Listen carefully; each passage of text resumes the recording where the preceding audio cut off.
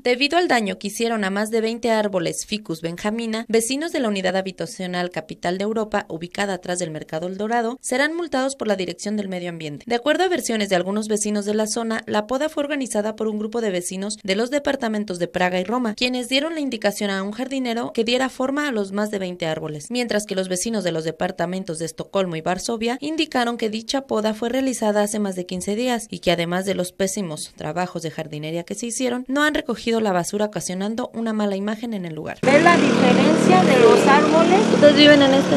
Yo vivo aquí, la señorita vive allá, pero yo ahora sí que ando con el señor aquí podando y recogiendo todo. Ayer no pudimos hacer ese porque estaba esa camioneta allí, pero vea la pues diferencia. De hecho, le, Incluso No la- matan a los árboles, la- les están no, dando les da mantenimiento, y eso lo hago yo en junio y en diciembre. Me cooperen o no Los- me cooperen los vecinos, de todos modos este, yo estoy al pendiente. Y como ves, la única área que está limpia, porque ando, yo pregúntale aquí a la señorita limpiando. si ando, y es lo que le estoy diciendo, a ustedes les va a costar más trabajo ahora que se con seque esa hierba. basura. Sí. Y ¿No sabes si sí la van a recoger? Pues han estado hablando a los de a los de forestal o algo así. No, de servicios, Servicios municipales. municipales. Y según que sí vienen y vienen y nomás no vienen. Ante esta problemática es que vecinos organizados de los edificios Estocolmo y Varsovia hacen un llamado a la autoridad correspondiente para que sancione a quienes mataron a estos árboles, así como para que les ayuden a levantar el tiradero de las hojas que dejaron en la vía pública. El problema es que la gente no coopera, no coopera. Y por lo que hicieron, pues no contrataron a alguien, alguien que sepa, ¿no? De mantenimiento. No, nada. De hecho, eh, los árboles, nosotros estamos en aquel edificio y, hacemos formas en los árboles, Claro. sí, para darle mejor vida a la, a la unidad. Y sobre todo que estamos en una zona centro, ¿no? Pero si la gente no, no coopera. Y por medio ambiente también, ¿no? Cuidarlos, la naturaleza.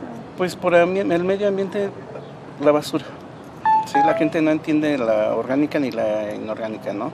Entonces es un rollo, es un problema esto. De hecho, yo anduve pidiendo departamento por departamento para cooperar, para pedir cooperación y arreglar toda la unidad en general. Nadie quiso. Y atendiendo a su respuesta, es que el titular del medio ambiente indicó que la multa será realizada a todos los miembros de la unidad, mientras que de la basura que dejaron en el lugar, afirmó que deben ser los responsables de la poda los encargados de recogerla. Ahí el responsable son las personas que, que viven ahí mismo. Sí, entonces es, es con quien vamos y nosotros eh, reaccionamos, sea, levantamos un acta. Sí, y ese acta tiene que ser un trámite que internamente te- debemos atender, es un procedimiento que aquí en nuestro, eh, con nuestros encargados de jurídico se evalúa. Y ahorita, por ejemplo, la basura que ya se quedó ahí en la calle, eh, ¿ustedes con servicios municipales piden el apoyo o es el mismo vecino quien se encarga? Es el vecino el que se tiene que encargar de- de hacer esa limpieza. Con imágenes de Rogelio Barajas, informó para Vía Noticias María de la Parro Darte.